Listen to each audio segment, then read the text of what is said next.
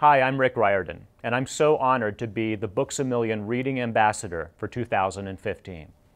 Reading is the most important gift we can give to our children. It's the number one indicator of success in the future, and it's a great way to make our kids lifelong happy learners. I think one way that we can help encourage our kids to read is by modeling reading at home.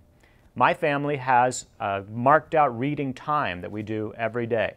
Because I think if the kids see the adults being too busy to read, then they'll think that reading is not part of their lives too. So find an hour in your day when everybody in the family is reading something.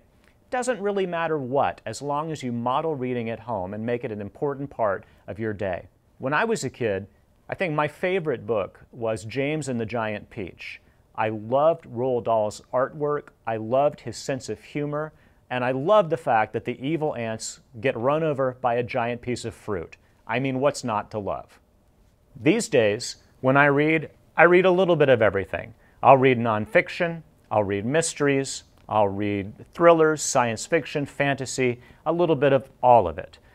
I think for me as a writer, reading is the fuel of the engine. If I read a lot, it makes it easier for me to find my own voice when I'm telling my own stories. Reading lets us explore other worlds, it lets us live other lives. It opens so many doors for our kids. So, whatever you read, read something with your children.